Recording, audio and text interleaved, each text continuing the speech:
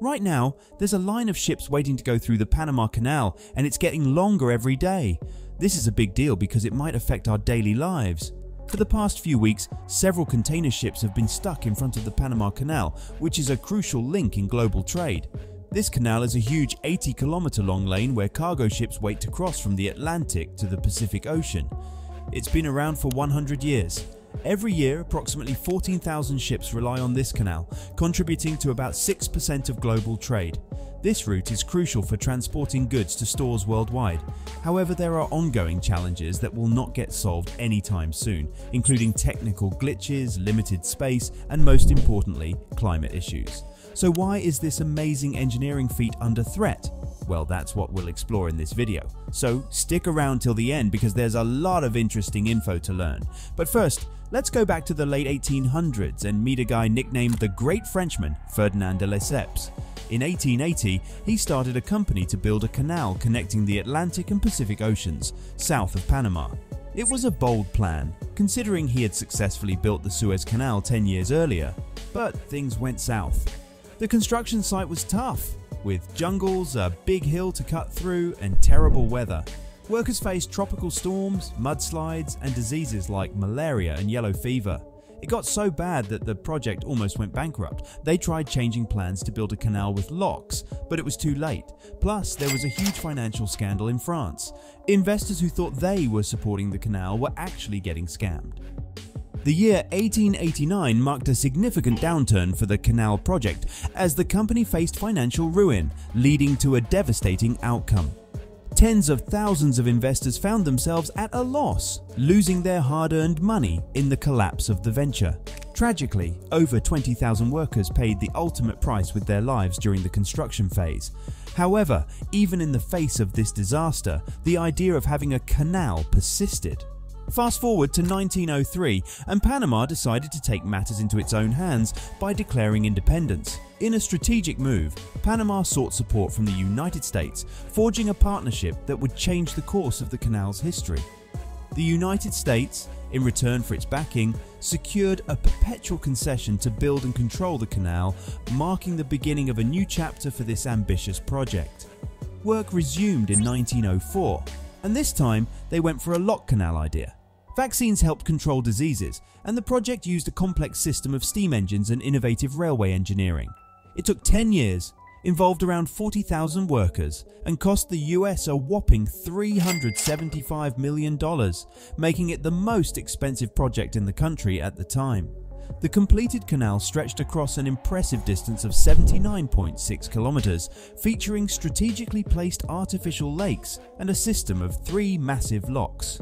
This monumental undertaking stood as a testament to human engineering and determination, representing a significant achievement in connecting the Atlantic and Pacific Oceans. However, the cost of this accomplishment was not just measured in distance and engineering prowess. Tragically, an additional 5,000 workers lost their lives during the arduous construction process. The human toll, while a somber aspect of the canal's history, underscores the sacrifices made by the workforce in turning this ambitious vision into a tangible reality. The canal officially opened on April 15, 1914, right when the First World War was starting in Europe. The United States controlled the canal, deciding on the size of the locks, which set the standards for new, bigger ships called Panamax. In the 1970s, there was a plan to give the canal back to Panama, and in 1999, Panama became the owner. Now, the canal is a huge part of Panama's income, making up 10% of the country's revenue. Ships pay fees to pass through, ranging from $10,000 for small vessels to $300,000 for the really big ones. But things are changing. Recently, a chemical tanker paid $2.4 million to skip the line and go first. The canal's model might not be sustainable anymore.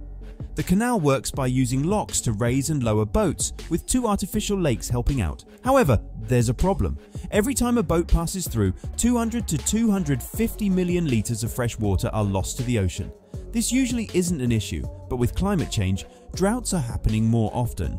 Since 2016, Panama has been grappling with recurring droughts, resulting in a consistent decline in water levels across its crucial artificial lakes. Unfortunately, this challenge persisted in 2019 and has resurfaced in 2023. The situation is exacerbated by the El Nino weather phenomenon, intensifying the adverse effects of the dry weather conditions. In response to the ongoing water scarcity, authorities are implementing precautionary measures. These include reducing the tonnage of boats and placing limits on the number of container ships allowed to pass through the canal each day. While these steps are essential for water conservation, they contribute to longer waiting times, creating extended queues at the canal. Now, unlike the Suez Canal, the Panama Canal operates on a lock system, requiring the assistance of tugs and skilled operators to navigate through the intricate waterway. However, despite the effectiveness of this method, the canal is currently facing a challenge due to an increasing demand that surpasses its existing capacity. As a result, the waiting times for vessels have significantly extended. Notably, reports in early September indicated a substantial increase in waiting periods, with boats now having to wait nearly 20 days, a stark contrast to the typical four days experienced during normal operational times. Back in 2006, Panama found itself in the limelight as queues at the canal became headline news, bringing attention to the fact that the canal's infrastructure was becoming outdated and insufficient to handle the increasingly large and modern container ships. In response to this challenge, Panama embarked on an ambitious $6 billion expansion initiative in 2016. This significant undertaking involved the construction of new locks, a strategic move that aimed to enable a staggering 95% of the world's ships to navigate through the canal with ease. Additionally, efforts were made to deepen the bed of Lake Gatun by 45 centimeters, a crucial adjustment intended to enhance the canal's capacity and facilitate the smoother passage of vessels daily. Despite the grand scale of this expansion project, it became apparent that it did not completely address the complex issue of water scarcity. The region continued to grapple with drought conditions, and as a consequence, authorities confirmed restrictions on passage for the upcoming year. This predicament raises concerns that if the expected rainfall does not materialise by November, marking the end of the rainy season, ship owners may be compelled to explore alternative routes such as the Arctic route, further highlighting the ongoing challenges faced by the Panama Canal. The drying up of the canal also affects over 2 million people in Panama City and its suburbs, as the two artificial lakes are a crucial source of drinking water for almost half the country's population. The authorities are aware of the problem, and the canal administrator proposed a solution in mid-September, creating a new water reservoir to the west of the canal, fed by the Indio River through an 8 kilometer underground tunnel. To address the water shortage issue, a new water reservoir is planned to be built, but this will take some time. Estimates indicate about 3 months if there's abundant rainfall and almost 2.5 years if the drought continues. There's another possible plan on the table, taking water from Lake Bayano and letting it flow into the sea passage. This could be a solution, but it's not a done deal yet. Before these ideas become real, they need to get the green light from the authorities, secure the necessary funds and be organised into a solid plan. In the most recent announcement from the Canal Management Company, there's a bit of good news. The situation is getting a bit better and boats aren't waiting as long as they were a month or two ago. However, the news isn't all positive. The water level in Lake Gatun is still way too low, more than 2 metres lower than what's normal for this time of year. This shows that even though there are some improvements, the overall problem is still hanging around and hasn't been completely fixed. Alright guys, that wraps up our video for today. If you enjoyed watching this and found it useful, please do well to give us a thumbs up and hit the subscribe button for more.